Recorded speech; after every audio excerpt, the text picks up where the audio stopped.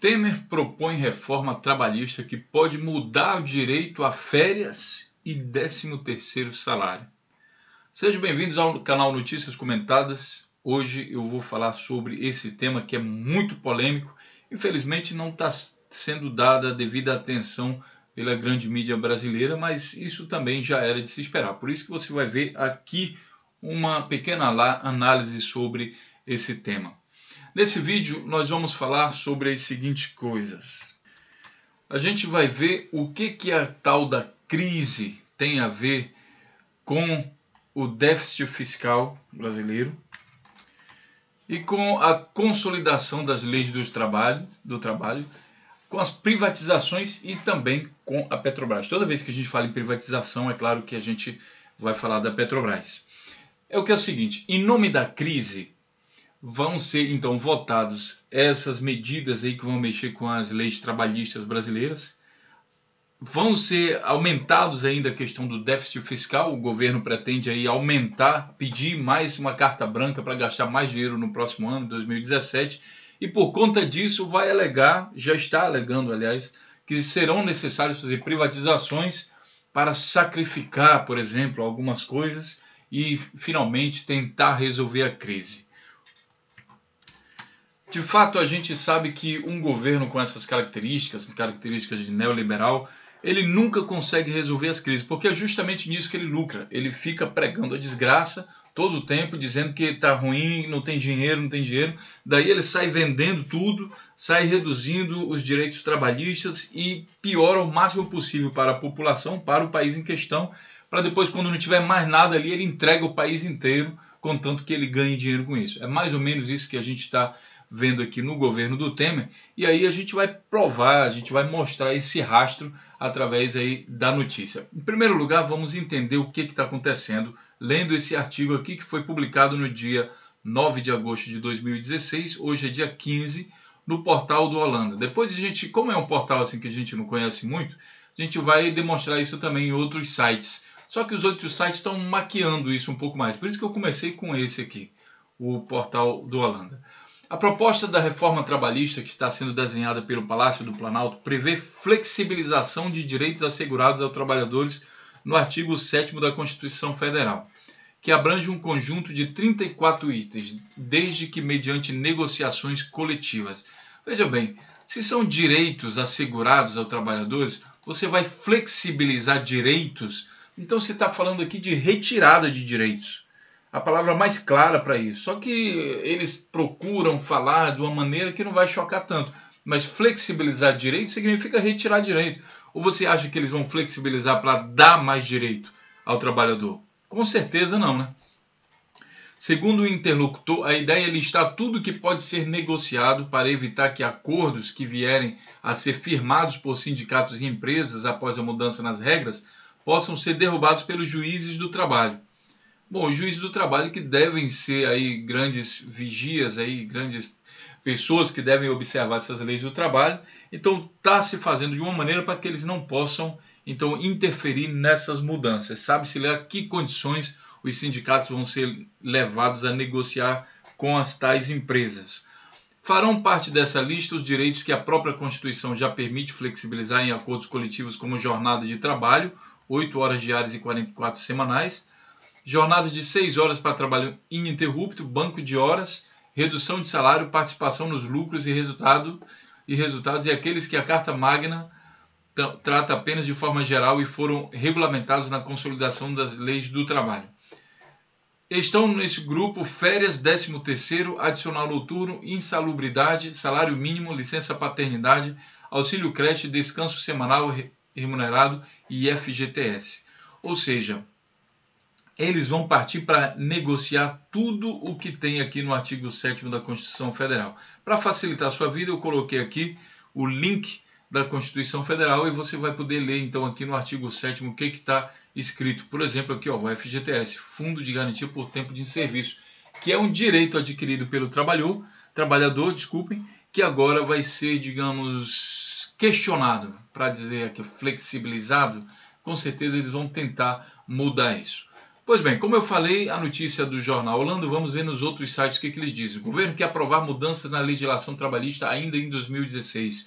Um dos pontos é a regulamentação do trabalho terceirizado. Há também projeto para redução da carga horária e salário para, empre para empresas em crise. Então você vê aqui a confirmação do que estava escrito antes, só que de uma maneira assim mais suave. Né? Eles não falam muito assim é, sobre a desgraça toda que está por vir, essa tal da flexibilização das leis do trabalho. Vamos ver aqui em outro site, medidas impopulares ficam para depois da eleição. Quer dizer, esse site aqui, do dia 25 de julho de 2016, Paraíba agora, ele diz que as medidas impopulares ficam para depois da eleição. Ele, embora consideradas prioritárias pelo Palácio do Planalto, propostas impopulares como a reforma trabalhista e previdenciária então, vão mexer também com os aposentados e o teto para gastos públicos só avançarão no Congresso após as eleições. Quer dizer, ele fala aqui de teto para gastos públicos, só que depois a gente vai ver que ele também quer gastar o mesmo tanto em 2016 que já gastaram esse ano. Temer prepara uma reforma trabalhista para agradar os empresários. Essa aqui é uma opinião contrária aí daqueles outros jornais que nós vimos, que são jornais mais da direita e aqui é mais da esquerda. Carta Capital do dia, deixa eu ver aqui o dia, o dia Cadê, cadê, cadê onde está o dia? Será que eu passei batido? Dia 7 de junho de 2016, está bem aqui? 7 de junho. Crise acende alerta entre as centrais sindicais, não só pelo desemprego, mas por alimentar retórica por revisões de direitos trabalhistas. É claro que, antes da gente comentar isso aqui, pessoal, vou mostrar primeiro a reação de um lado e de outro. É claro que isso vai gerar também atos em defesa dos direitos dos trabalhadores que ocorrem no próximo dia 16 de agosto, ou seja, amanhã. Na próxima terça-feira, coordenados por oito centrais sindicais, trabalhadores se unem por direitos ameaçados. Notícia do dia 13 de agosto de 2016, ou seja, amanhã vai ter manifestação. Vocês podem ver aqui quem quiser se manifestar, aonde essas manifestações que vão ocorrer em todo o Brasil, né, organizando os atos pela, pelo Brasil, estão as centrais Força Sindical, Central Única dos Trabalhadores, Força Sindical que inclusive apoiou o impeachment, né? Através daí do Paulinho da Força, agora aí vão fazer manifestações. Central dos Trabalhadores e Trabalhadores fica, ficaria esquisito, né? Paulinho da Força está apoiando, ele faz parte da Força Sindical e está apoiando isso aí. Na verdade, ele lutou por isso, então agora vem, vem as consequências. Dia 16 será o dia da mobilização nacional e luta pelo emprego e pela garantia de direitos. Bom, se você acha que eu estou exagerando essa coisa de fim de 13 terceiro, fim de férias, talvez não seja fim, mas uma redução. Então, assim, imagine essas forças sindicais de todo o Brasil, elas estão se manifestando em todo o Brasil. Elas devem ter aí advogados e especialistas que estão analisando e perceberam o risco, por isso se uniram todas para organizar então um movimento, né, uma manifestação aí em prol dos direitos do trabalhador.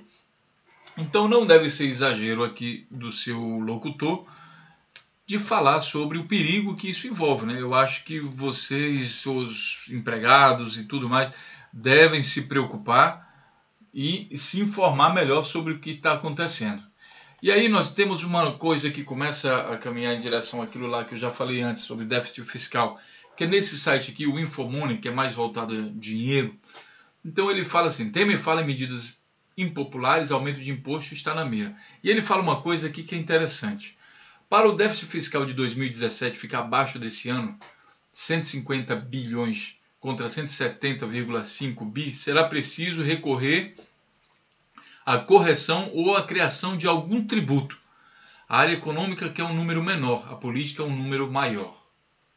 Então eles já estão prevendo aqui o seguinte: para o próximo ano, eles estão falando a crise está muito braba e não sei o que, e aí a gente vai ter que arrombar os cofres públicos de novo e daí isso é necessário para que a gente possa pagar as contas. E novamente eles entram naquela política de aumentar o salário de quem vai julgá-los e condenar o trabalhador, né? quem está sofrendo isso. A gente tem visto que eles, apesar de falar em crise, eles aumentam o salário. Agora há pouco foi do Procurador-Geral da República e mais de outros procuradores, aí, com impacto de 250 milhões por ano, inclusive já em 2017. Então, assim, eles pegam esse dinheiro para pagar a conta de quem está aprovando as coisas dele, para comprar as pessoas que vão dar apoio para que ele prossiga nesse caminho. Parece uma coisa sombria, mas aqui nesse vídeo da Miriam Leitão, que eu aconselho vocês que vejam, Miriam Leitão comenta anúncio de Temer sobre medidas impopulares. Ela, ele, a Globo, a, a mídia, essa grande mídia, já começou a preparar terreno avisando o povo que a crise é muito braba né, e que por isso vão ter que fazer aí algumas reformas, criar impostos e privatizações. E daí ela aproveita e fala em Petrobras. Fica muito descarado aqui o que ela fala não haverá outra saída. Quer dizer, ao fim do mundo, não tem outra saída. O Brasil não pode produzir, voltar a produzir e ganhar dinheiro com a sua própria produção. Não, não tem essa, esse tipo de saída. O que tem é a gente se desfazer das nossas coisas, é pagar mais imposto e se lascar todo mundo. É mais ou menos isso que ela prega. Se o governo quiser continuar fazendo agrados a determinados grupos, o país vai afundar ainda mais no vermelho. Entendeu? Então eles, eles conduzem eles induzem a população e aos seus espectadores a acreditar que realmente que a única saída que existe é entrar no retrocesso de tirar direito de trabalhador, vender tudo que é o que tem, se entregar e depois disso, pessoal, olhem aí os governos neoliberais. Não há solução depois disso, porque você descapitaliza todo o governo, você quebra toda a máquina pública e daí você perde força um governo sem força não consegue controlar mais nada, fica totalmente entregue às empresas, é, é, ao mundo capitalismo selvagem. Veja bem, eu não sou contra o capitalismo, sou a favor do capitalismo, só que o capitalismo moderado, uma social-democracia, uma coisa que, apesar de estimular o crescimento através do capitalismo, mas você não deixa de, de olhar pelos trabalhadores. Não pode virar uma coisa tipo a China. Né? A China, que a gente a gente pensa assim, ah, a China é comunista. Sim, é comunista, deveria olhar pelo trabalhador, mas é exatamente o contrário que faz. É uma coisa também totalmente neoliberal que tira direito de trabalhador. Isso é conhecido na, na China. Então estou aqui também criticando governos comunistas, que se dizem comunistas e depois tiram o direito do trabalhador. É isso, há que, ter, há que existir um equilíbrio. Quando você enfraquece um governo, um país, você não tem mais como reagir a essas grandes empresas. O que está acontecendo no Brasil hoje é isso. E em grande parte defendido por essa figura aqui, a Miriam Leitão. Você deve assistir esse vídeo dela. Eu não vou aqui colocar para tocar, porque você pode. Eu vou deixar aqui o link você pode visualizar. Veja esse vídeo dela e depois comente aqui no nosso canal Notícias Comentados o que, que você achou. É um completo entreguismo, uma lavagem cerebral entreguista. Tudo em nome de uma, de uma crise tudo em nome de uma coisa que assim não tem saída. O detalhe vem agora, pessoal. O detalhe dessa crise é que a gente vê que existe, por exemplo, essa coisa do petróleo que eu falei para vocês, de entregar a qualquer preço. A gente vê aqui em outros sites do dia 6 de junho, Temer e Serra apressam-se para entregar o pré-sal. Está aqui no site aqui outras mídias, outras palavras. Né? E realmente isso daqui não sai dessa forma, claro, na grande mídia. Mas o que a gente tem visto é um movimento para isso. Ontem eu já publiquei um vídeo falando sobre o José Serra querendo entregar aí o pré-sal.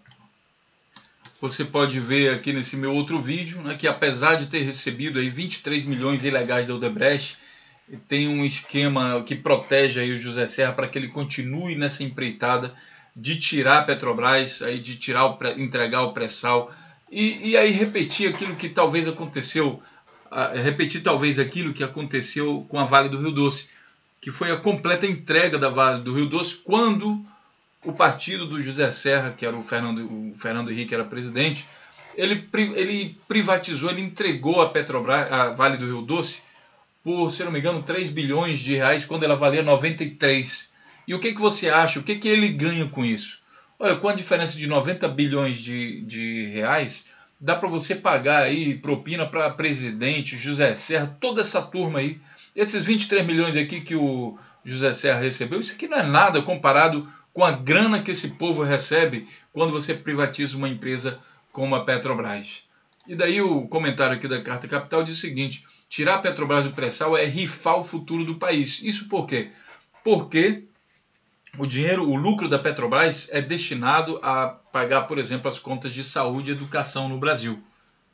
E daí você tirar isso da, da Petrobras, tirar o pré-sal da Petrobras, como a mídia tem colocado, tira a obrigatoriedade da Petrobras de trabalhar no pré-sal e na verdade é o direito da Petrobras. Tudo eles mudam as palavras para lavar a cabeça das pessoas.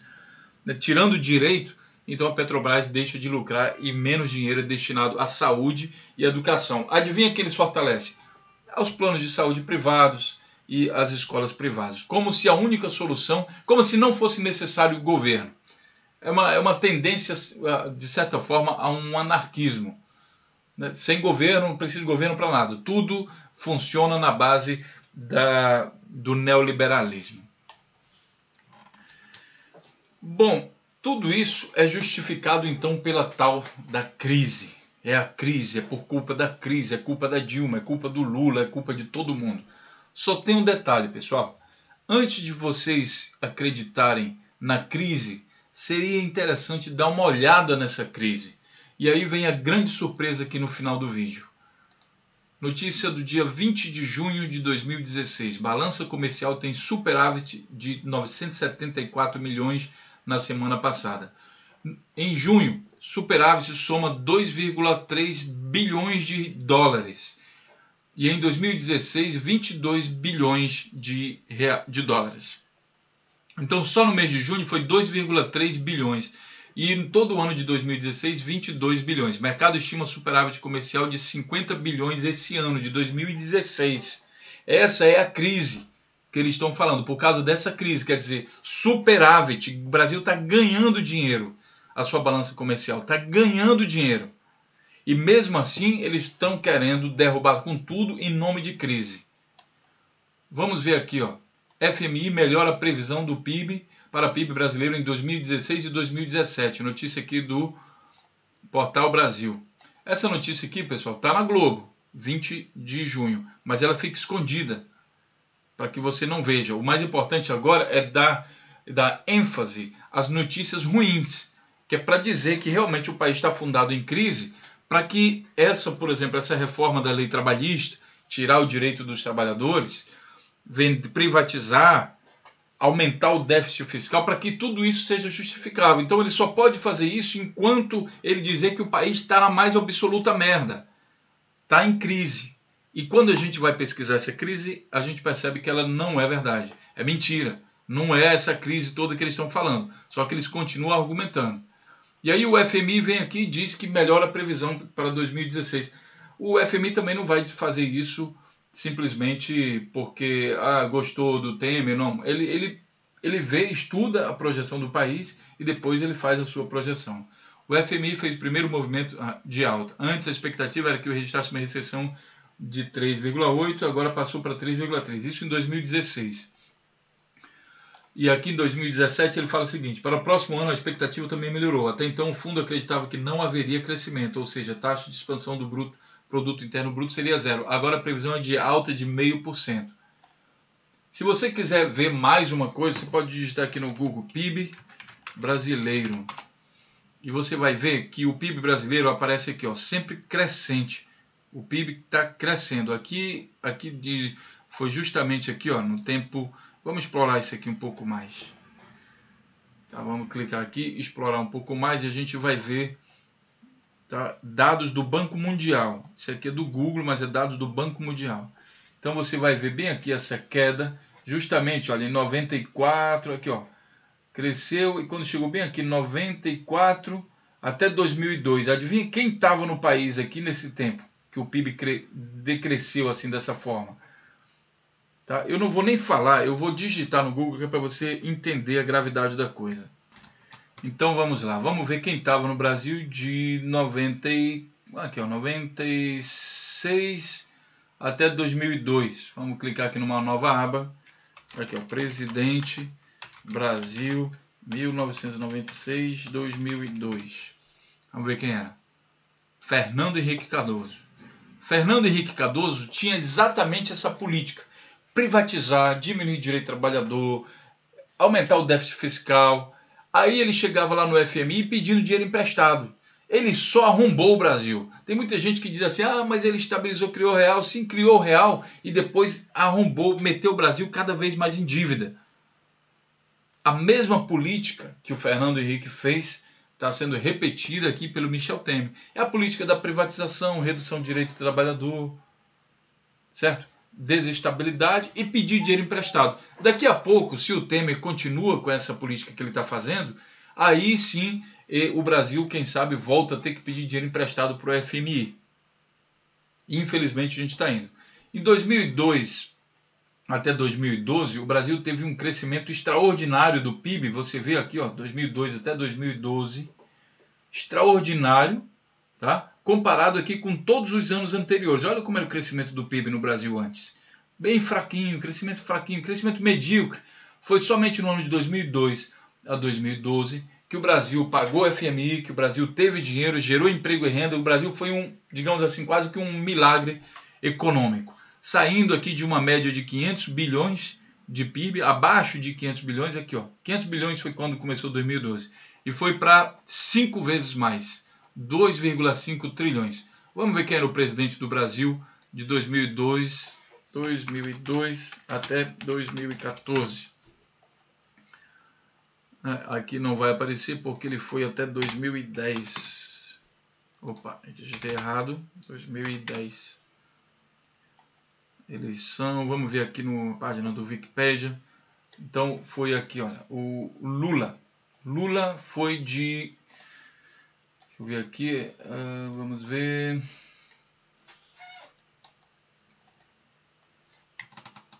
Entrei aqui nesse outro site aqui para ver logo os presidentes. Então você vai ver aqui. Vamos ver lá por último, os últimos. 2002 até 2006, Lula, né?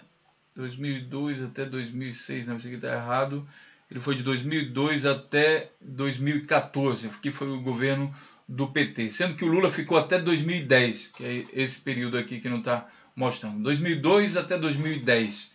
Aí você olha aqui o crescimento né, do PIB, 2002 até 2010, bem aqui, ó, o, tava, só cresceu, o PIB do Brasil só cresceu. Foi justamente um momento em que o Brasil pagou as suas dívidas teve um crescimento extraordinário, cresceu o emprego, o otimismo foi lá para cima, enfim, melhorou bastante as contas do Brasil.